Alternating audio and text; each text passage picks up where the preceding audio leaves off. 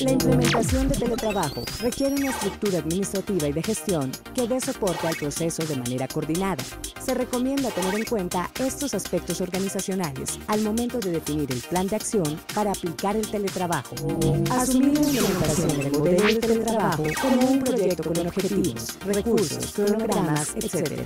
Asignar un equipo responsable de adelantar el proyecto que debe incluir al menos el área de gestión de talento humano, tecnología y jurídica Identificar procesos y cargos susceptibles de teletrabajo. Identificar acciones diferenciales para los distintos tipos de contratos que se tengan con el personal según la legislación aplicable. Gestionar el cambio, preparando la estructura necesaria y al talento humano en general. Establecer características de la cultura organizacional que apoyen el proceso o que signifiquen una barrera que deba ser superada.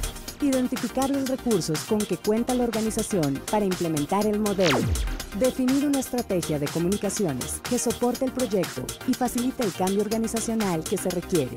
Tener en cuenta los sistemas de gestión que pueden ser afectados e incluir el procedimiento de teletrabajo en el que corresponde.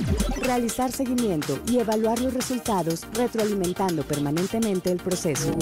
Todos estos aspectos han sido incluidos de manera organizada en las cinco fases de la metodología de implementación del teletrabajo, descrita en el libro blanco que se resume de la siguiente manera. Compromiso institucional, planeación general, autoevaluación, pilotaje y adopción.